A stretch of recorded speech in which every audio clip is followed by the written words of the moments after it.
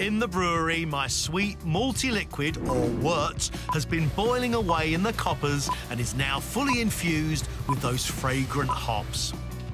But it's still not beer yet. To turn this wort into lager, we need yeast. Whoa. I'm meeting Steph Tunks in the project lab. Hello. Is that dry ice? Uh, this is liquid nitrogen, and it's currently at about mm, 196 degrees below zero. That's how we store our yeast. And I can't go anywhere near that, can I? Absolutely not. Not without some serious gloves on, yeah. Why do you store the yeast like that, please? Um, it's so we keep it in a stable state and to stop it from growing any more than we would need it to at this time. So we can keep it for long periods to use it whenever we need. Yeast is a living single cell organism. Without it, there's no alcohol, no fizz, and ultimately, no lager. How much yeast is in there right now? Uh, about 0.2 of a milliliter, so a tiny, tiny amount. Is that just a sample? No, this is will now propagate all of our yeast for the next six months. What?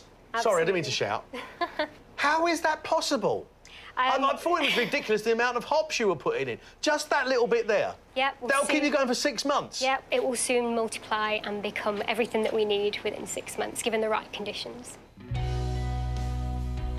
The yeast is grown in this 30 milliliter vial.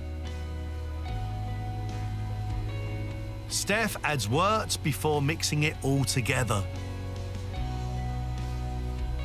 She then transfers 10 millilitres of the mix into this flask. The extracted yeast now has the food and space it needs to multiply. Is it extremely valuable? Absolutely. Without our yeast, we just we wouldn't have a brewery to go with. It's so valuable to us. It's the life and soul of our beer. As it grows, the yeast is transferred to increasingly larger containers, finishing up in this massive tank. It will continue to multiply until they have over a thousand kilograms of the stuff.